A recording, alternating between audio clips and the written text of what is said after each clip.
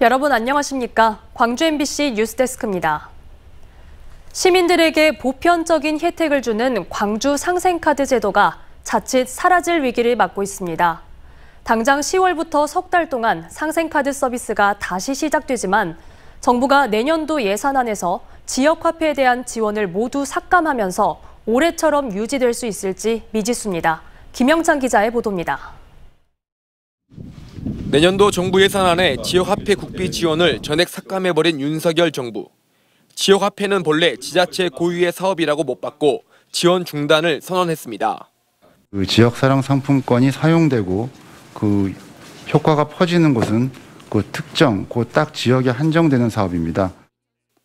오는 10월부터 석 달 동안 광주 상생카드를 부활시키고 내년에도 유지하기 위한 방법을 찾으려 했던 광주시는 당혹스러울 따름입니다. 광주 상생카드 운영 방식은 카드 사용 금액의 10%를 광주시가 먼저 지원해주고 지원금 총액의 40%를 정부로부터 보전받게 되는 것입니다. 그런데 국고 지원이 끊기면 상생카드를 중단하거나 막대한 예산을 광주시가 오롯이 부담해야 하는 상황입니다. 올해 하반기 재개되는 광주 상생카드의 발행액 한도가 기존 100만 원에서 50만 원으로 낮춰진 것도 정부 지원금이 이미 동나버렸기 때문입니다. 결국 내년에는 상생카드 서비스가 명맥이라도 유지할 수 있을지 예단하기 힘들게 됐습니다. 지역 화폐 상생카드는 그 국비 예산이 하나도 반영이 안 됐습니다. 일정 자립도가 낮기 때문에 이런 국비의 절실한 필요인데 안타까울 뿐이고 좀 당혹스럽습니다. 보편적 복지 혜택처럼 광주 상생카드를 사용했던 시민들은 허탈할 수밖에 없고 소상공인들은 지난 3개월 동안 상생카드 중단으로 매출의 30에서 40% 정도 감소했는데 내년엔 기대조차 하기 힘들게 됐다고 하소연합니다. 특히 윤석열 대통령이 공약상위에 소상공을 살리겠다고 했던 공약에 반대되는 겁니다. 이거는 네. 소상공들을 더 어렵게 만드는 거거든요. 광주시는 국회에서 관련 예산이 부활할 여지가 있는 만큼 심의 과정을 지켜본 뒤 상생카드 지원 비율 축소 등 사업의 방향성을 다각도로 검토하겠다고 밝혔습니다. MBC 뉴스 김영창입니다.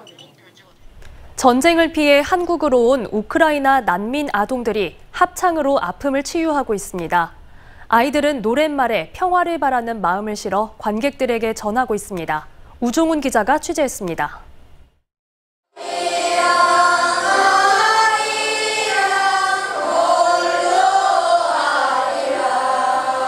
합창 단복을 차려입은 20명 남짓 아이들의 홀로 아리랑 노래소리가 울려 퍼집니다.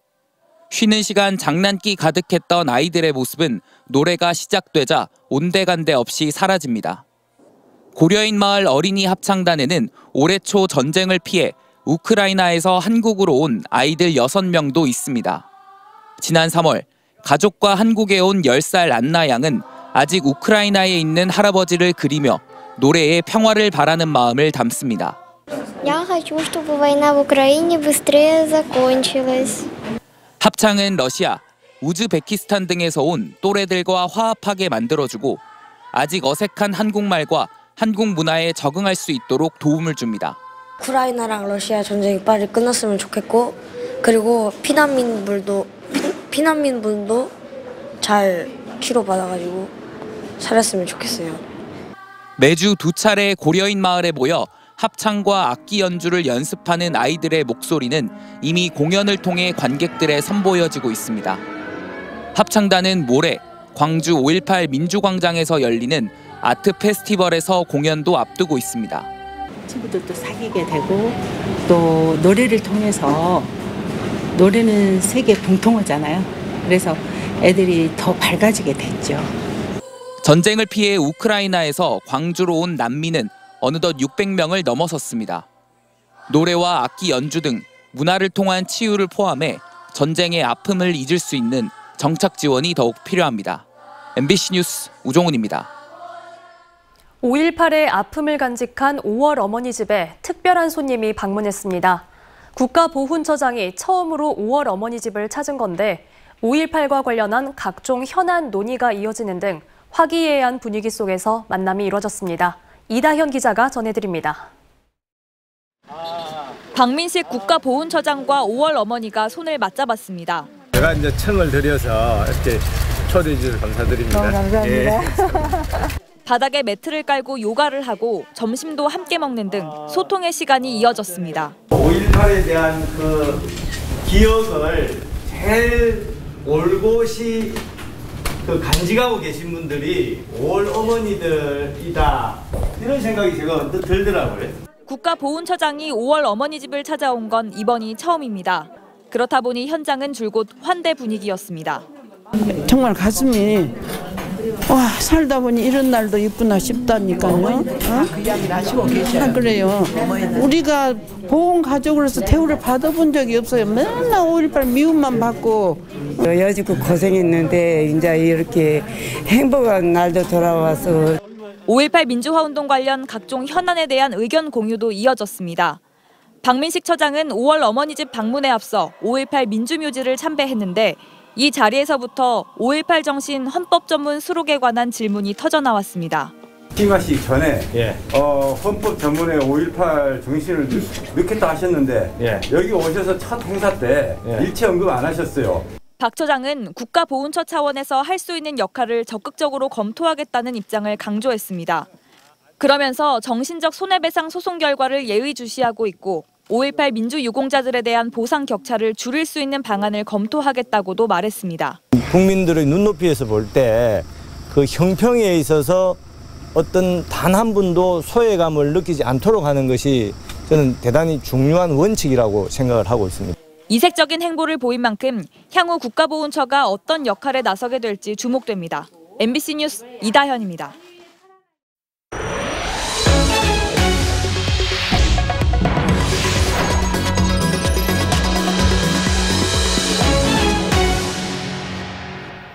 가뭄 속에 농업용 저수지가 골프장 잔디에 든든한 뒷배가 되고 있는 상황 어제 전해드렸는데요. 그런데 이번에는 물 가격도 문제입니다. 같은 저수지 물이라도 쓰는 골프장에 따라 물값이 다른 걸로 드러났습니다. 양정은 기자가 취재했습니다. 1976년 만들어진 국내 최대 규모의 농업용 저수지 나주호입니다. 나주호도 인근 골프장들에 해마다 물을 팔고 있습니다. 2019년 이후 해피니스 골프장이 농업용 수 13만 9천 톤을, 골드레이크 골프장이 127만 톤을 각각 나주호에서 받았었습니다. 같은 물을 쓰는데 골프장별로 물값이 다릅니다. 2019년 해피니스 골프장과 골드레이크 골프장이 치렀던 물값은 톤당 73원. 그런데 골드레이크가 내는 물값은 3년간 57%가 올라 올해 115원, 해피니스 골프장은 23%만 오른 90원입니다. 담당자가 좀, 좀 실수하는 경우가 좀 있긴 있습니다. 계약 기간이 같은 해는 사용료가 같아야 되는 것이 거예요. 물가를 반영한 계산식과 당해년도 계산식 등 계산 방식 차이 때문이라는 게 농어촌 공사의 설명. 물값을 더 받을 수 있는 계산식 대신에 싸게 판매하는 계산식을 농어촌 공사가 선택한 건 선뜻 납득하기 어렵습니다. 전국 상황을 살펴봐도 전남의 골프장은 농업용수를 상대적으로 값싸게 쓰고 있습니다. 그분들이 이제 요청을 하도 하니까 안 팔 수는 없고 뭔가 이제 기준에 의해서만 팔아야 되니까 그러니까 어쩔 수 없이 만든 거지. 우리 공사 입장에서는 안 파는 게 더 좋죠. 농민들 의사와 무관하게 골프장에 물이 공급되는 것도 문제입니다. 농어촌 정비법은 농업용수를 농업이의 목적에 판매할 수 있도록 허용하면서 사전에 주민의 의견을 듣도록 규정하고 있습니다. 하지만 주민들과 꾸린 용수관리협의회는 제 기능을 못하고 있고 농민들의 반발을 사고 있습니다. 농민들은 해줘야죠. 골프장이 지금 문제요. 농사 짓고 하는 사람들은 좀 해서 해줘야지. 2019년부터 지난 7월까지 전국의 골프장에 팔린 농업용수는 모두 920만 톤. 이렇게 해서 농어촌공사가 얻은 수익은 14억여 원에 이릅니다. MBC 뉴스 양정은입니다. 비수도권 대학 총장들이 교육부가 발표한 반도체 관련 인재 양성 방안을 철회하라고 촉구했습니다. 비수도권 7개 권역 대학 총장협의회 연합은 국회에서 기자회견을 열고 수도권 대학 정원 규제를 완화하는 내용의 반도체 인재 양성 방안은 지역 소멸을 부추길 것이라고 비판했습니다.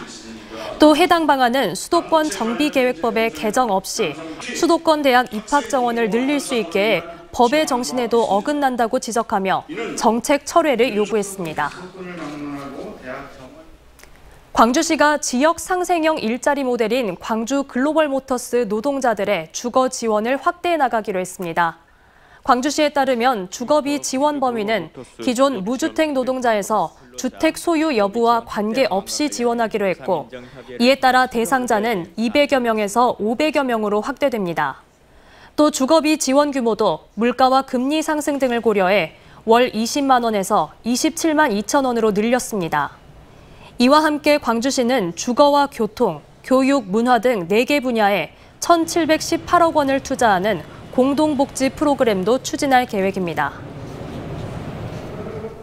더불어민주당 이재명 당대표가 취임 직후 첫 지역 일정으로 광주를 방문합니다.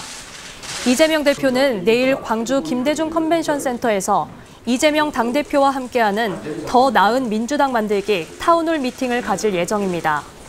이 대표는 모레 당 지도부와 함께 국립 5.18 민주묘지를 찾아 참배한 뒤 민생 현장 방문의 일환으로 양동시장을 찾아 시장 상인들과 시민들을 만날 계획입니다. 곡성 산사태로 주민이 숨진 사건을 재판에도 넘기지 않는 등 부실한 검찰 수사를 고발한 광주 MBC의 우종훈, 임지은, 김상배 기자가 이달의 방송기자상을 수상했습니다. 제166회 지역 취재 보도 부문 이달의 방송기자상을 수상한 광주 MBC의 보도는 오래된 사안에 관심을 놓지 않고 검찰의 부실 수사를 추적해 신속한 수사를 이끌어냈다는 평가를 받았습니다.